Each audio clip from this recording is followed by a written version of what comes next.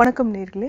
இன்னைக்கு ஒரு parent அமைச்சிருக்கிற question ரொம்ப காமனானது அவங்களோட கொஸ்டின் என்ன அப்படின்னா அக்டோபரில் வந்து சைல்டு ப்ரீகேஜி ஜாயின் பண்ணி விட்ருக்காங்க இப்போ வந்து ஆல்மோஸ்ட் ஃபோர் ஃபைவ் மந்த்ஸ் ஆனதுக்கப்புறம் கூட சைல்டு வந்து தினமும் ஸ்கூல் போகிறதுக்கு அழுது கத்துறான் ஆர்ப்பாட்டம் பண்ணுறான் இதில் உங்களுக்கு டேஞ்சர் என்ன அப்படின்னா ரெண்டு பேரண்ட்ஸுமே ஒர்க்கிங் நீங்களும் ஒர்க் பண்ணுறீங்க ஹஸ்பண்டும் ஒர்க் பண்ணுறாரு ஹஸ்பண்ட் வந்து ட்ராவலிங் ஜாப் ஒரு நாள் ஊரில் இருப்பார் ஒரு நாள் இருக்க மாட்டார்.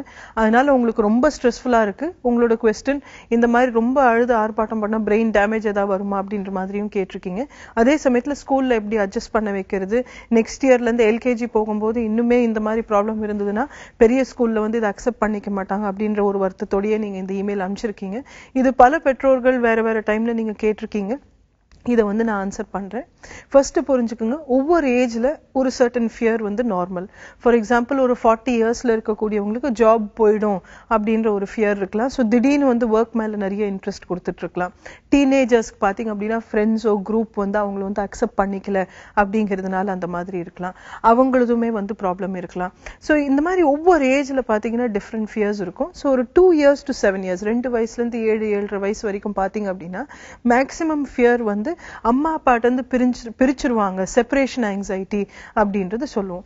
இதையுமே வந்து நம்மளுக்கு தெரிஞ்சோ தெரியாமலோ பெற்றோர்களா நம்ம பண்ற பிக்கெஸ்ட் மிஸ்டேக் என்ன அப்படின்னா நீ இந்த மாதிரி பிடிவாதம் பிடிச்சிட்டே இருந்தா நான் மிஸ் கிட்ட சொல்லிடுவேன். நான் உன்னை ஸ்கூல்ல விட்டுருவேன். அப்படின்லாம் நம்ம வந்து பயப்படுத்தி விட்டுறோம். சைல்டுக்கு வந்து நம்ம சும்மா தான் சொல்றோம் அப்படின்றது தெரியாது. அவங்க அதை வந்து உண்மையா நினச்சிக்கிட்டு அவங்க வந்து உண்மையில நீங்க ஸ்கூலுக்கு கூட்டிட்டு போய் விடும்போது ஓ இந்த இடத்துல தான் விட்டுருவேன்னு சொன்னாங்க. அன்னைக்கு நம்ம பிடிவாதம் பிடிக்கும் பிடிக்கும் போது இதை பத்தி தான் சொன்னாங்க. அப்படின்னு சொல்லி கூட கனெக்ஷன்ஸ் பண்ண ஆரம்பிச்சிருவாங்க.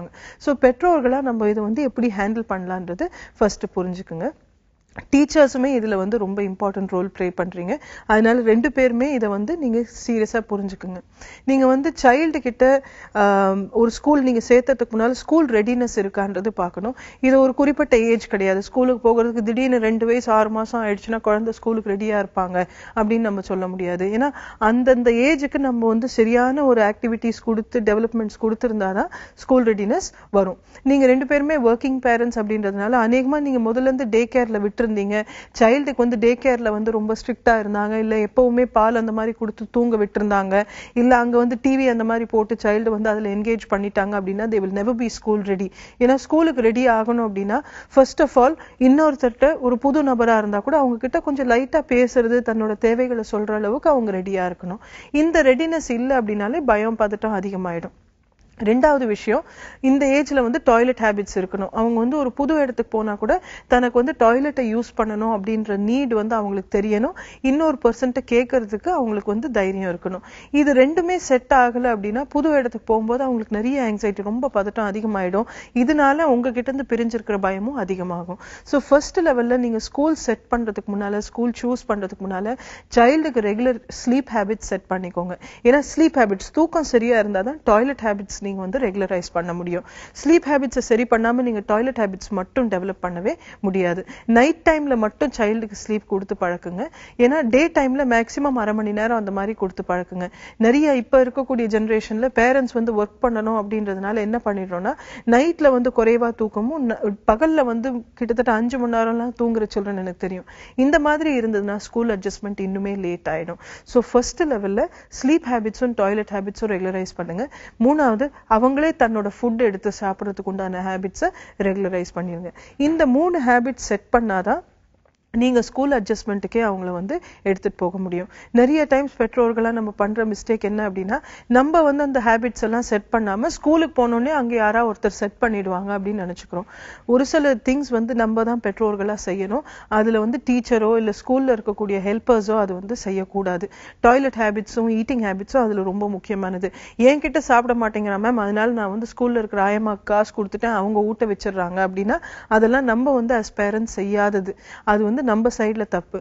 இது நீங்கள் எவ்வளோ டீட்டெயில் எவ்வளோ நீங்கள் வந்து ஒரு டிலே பண்ணுறீங்களோ அவ்வளவு நாள் வந்து சைல்டுக்கு டிஃபிகல்ட்டிஸ் இருக்கும். நெக்ஸ்ட் வந்து நீங்க ஸ்கூலுக்கு கூட்டிகிட்டு போகிறீங்கன்றது வந்து கிளியராக சொல்லுங்க. நிறைய பெற்றோர்கள் பண்ற மிஸ்டேக் என்னன்னா இல்லை நம்ம கடைக்கு தான் போறோம் பெட்ரோல் தான் போட போறோம் அப்படின்னு சைல்டுக்கு பிடிச்ச ஏதாவது ஒரு விஷயத்த சொல்லி ஏமாத்தி ஸ்கூலுக்கு கூட்டிட்டு போறது இருந்ததுன்னா உங்க மேல இருக்கிற நம்பிக்கை போயிடும். செப்பரேஷன் ஆங்ஸைட்டி அதிகமாயிடும். ஏன்னா எப்போ நீங்க உண்மை சொல்ல போறீங்க எப்போ பொய் சொல்ல போறீங்கன்றது தெரியாதனால குழந்தை அந்த கன்ஃபியூஷனில் ஸ்கூலுக்கு போகும்போது அட்ஜஸ்ட் ஆகிறதுக்கு டைம் அதிகமாயிடும். மோஸ்ட் இம்பார்ட்டன்ட் நீங்க இத்தனை மணிக்கு வந்து கூப்பிட்டுப்பீங்க அப்படின்றத சொல்லியிருந்தீங்கன்னா அதை ப்ராமிஸ் பண்ணி சீக்கிரமா போய் கூட்டிட்டு வாங்க. நீங்க ரொம்ப நேரம் சைல்டை வந்து உங்களுக்கு வெயிட் பண்ண வச்சுட்டு மற்ற சில்ட்ரன்லாம் போயிட்டாங்க இவங்க மட்டும் தனியாக இருக்காங்க அப்படின்னா சைல்டுக்கு வந்து அதிகமாக அந்த பயம் இன்க்ரீஸ் ஆகிடும் இன்னொன்று டீச்சர்ஸும் ஹெல்ப்பர்ஸும் ஸ்கூலில் தயவு செஞ்சு சில்ட்ரனை மிரட்டாதீங்க. இந்த டைமில் வந்து நீ அழுதுட்டே இருந்தேன்னா உன்னை வீட்டுக்கு அனுப்ப மாட்டேன். உன்னை இருட்டான ரூமில் பூட்டி வச்சிருவேன். நான் கபர்டில் பூட்டிடுவேன். இந்த பூச்சாண்டி கிட்ட கொடுத்துருவேன் அப்படின்றதெல்லாம் தயவு செஞ்சு சொல்லாதீங்க. ஏற்கனவே அந்த சைல்டு வந்து ஃபியரில் ரெஸ்பாண்ட் பண்ணிட்டு இருக்கு ஏற்கனவே பயம் இருக்கிற பர்சனுக்கு நீங்கள் பயம் ஏற்றுற மாதிரி விஷயங்கள் சொன்னீங்கன்னா உங்கள் மேலேயும் அவங்களுக்கு வந்து பயம் அதிகமாயிடும். உங்களோட அட்ஜஸ்ட் ஆகிறதுக்கு சான்சஸ் இருக்காது. ஹோல் ஸ்கூல் இயர் சம்டைம்ஸ் பார்த்தீங்கன்னா சில்ட்ரன் உங்ககிட்ட வரவே மாட்டாங்க. அப்புறம் நம்ம ஃபோர்ஸ் யூஸ் பண்ணிகிட்ருப்போம் இருப்போம் அது வந்து ரொம்ப டேஞ்சரஸான சைக்கிள் ஆஸ் நீங்க ஆஸ் டீச்சர்ஸ் ஆஸ் ஹெல்பர்ஸ் ஒரு சைல்டு அழுவுது அப்படின்னா உண்மையை உங்களுக்கு தெரிஞ்ச பெஸ்ட்டுக்கு சொல்லுங்கள் கண்ணு நம்ம இந்த ஆக்டிவிட்டிஸ் முடிச்சுட்டு அப்புறம் வந்து இத்தனை மணிக்கு போகலாம் அப்படின்றத சொல்லுங்கள் இப்போ பன்னெண்டு மணிக்கு போகலாம் அப்படின்னா பன்னெண்டு மணியில் ஒரு ஸ்டிக்கர் ஒட்டிட்டு இந்த ரெண்டு கையும் இங்கே வரும்போது நம்ம போகலாம் அப்படின்றத கிளியராக சொல்லுங்க. ஸோ சைல்டு திரும்ப அம்மா கிட்ட போகணும்னு அழுவும் போது கண்ணு அங்கே பாருங்க அந்த கை இன்னும் பக்கத்தில் வந்துகிட்டே இருக்கு. நம்ம ரெண்டும் இதை ஜாயின் பண்ணும்போது அம்மா வந்து கூப்பிட்டுப்பாங்க. அப்படின்ற மாதிரி சொல்லுங்க. தேவையில்லாமல் நீங்கள் வந்து ஃபோனில் வந்து ஏமாத்துறது. நான் அவங்க அம்மாவுக்கு இப்போ தான் ஃபோன் பண்ணேன் பைக்கில் வந்துட்டே இருக்காங்களா அப்படின்லாம் தயவு செஞ்சு சொல்லாதீங்க. ஏன்னா நீங்கள் ஒரு அஞ்சு தடவை இந்த மாதிரி போய் சொல்லிட்டீங்க அப்படின்னா உங்ககிட்ட அவங்க வந்து அட்ஜஸ்ட் ஆக மாட்டாங்க. ஸ்கூலில் அட்ஜஸ்ட் ஆகிறதுக்கு எந்த சைல்டாக இருந்தாலும் எந்த கிளாஸாக இருந்தாலும் மினிமம் நீங்கள் வந்து சிக்ஸ் மந்த்ஸ் கொடுக்கணும். ஒவ்வொரு ஏஜ் ஏஜ்ல அட்ஜஸ்ட்மெண்ட் வேறு. ஆனால் சின்ன குழந்தை அப்படின்னும் போது இந்த அட்ஜஸ்ட்மெண்ட்டில் இந்த சேஞ்சஸுமே நீங்கள் கொண்டு வரணும். ஃபர்ஸ்ட் ஃபிசிக்கல் நீட்ஸுக்கு உண்டானது. ரெண்டாவது உண்மையை சொல்லி அந்த ப்ராமிசஸ் நீங்கள் கீப் அப் பண்ணுறது மோஸ்ட் இம்பார்ட்டன்ட் டீச்சர்ஸ் அண்ட் ஹெல்பர்ஸுமே அதே ஹேபிட்ஸ் நீங்கள் வந்து மெயின்டைன் பண்ண விடணும். இது லாங் டேர்மில் நீங்கள் வந்து செட் பண்ணோம் அப்படின்னா சிக்ஸ் மந்த்ஸ் கொடுக்கணும். இந்த சிக்ஸ் மந்த்ஸ்லேயும் சைல்டு வந்து டிஃபிகல்ட்டி ஃபேஸ் பண்ணியிருக்காங்க அப்படின்றதுனால நீங்கள் வந்து எல்கேஜி டீச்சர்கிட்ட முதல்லயே சொல்லிடுங்க. இந்த மாதிரி கொஞ்சம் அட்ஜஸ்ட்மெண்ட்டில் ப்ராப்ளம்ஸ் இருந்தது என்கரேஜ் பண்ணி ஸ்கூல் ஸ்கூலுக்கு வரும்போது அவங்களுக்கு வந்து கொஞ்சம் ஆக்டிவிட்டிஸ் எல்லாம் கொடுத்து என்ஜாய் பண்ற மாதிரி கிரியேட் பண்ண சொல்லுங்க. தெரப்பியூட்டிக் அலைன்னு சொல்லுவோம். டீச்சருமே அந்த தெரப்பியில் உங்களுக்கு சப்போர்ட் பண்ணாங்க அப்படின்னா புது ஸ்கூலுக்கு போகும்போது சைல்டு வந்து ஈஸியரா அட்ஜஸ்ட் ஆயிடுவாங்க. மீண்டும் நாளைக்கு சந்திக்கலாம்.